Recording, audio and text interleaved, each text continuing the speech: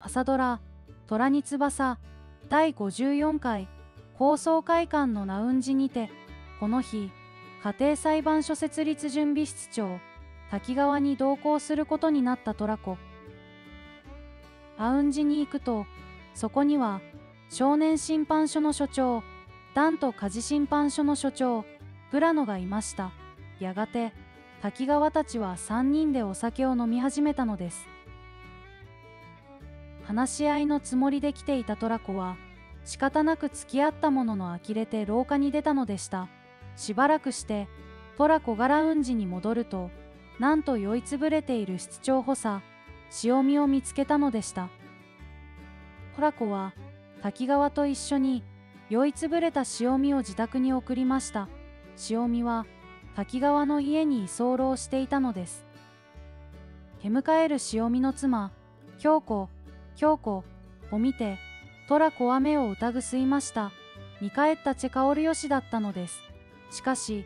コウヨシは冷たく返すのでした。その名前で呼ばないで。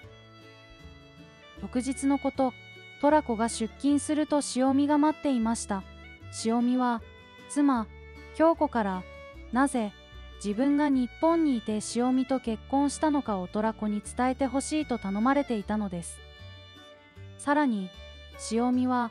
トラコが驚くことを伝言したのでした。チェカオルヨシのことは忘れて私のことは誰にも話さないでトラちゃんはトラちゃんの仕事を頑張ってだそうだ。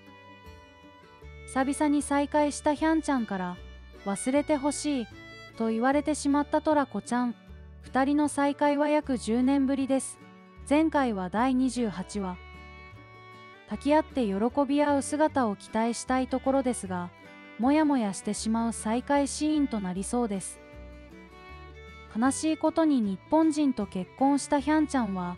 母国でも日本でも差別を受ける立場になってしまったなんて。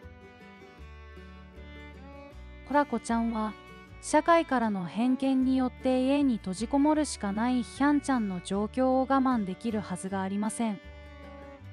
キャンちゃんの力になりたいけれど仕事もめちゃくちゃ忙しいというジレンマに陥るトラコちゃんにも注目です以上トラに翼11週54話のネタバレあらすじ予告でした。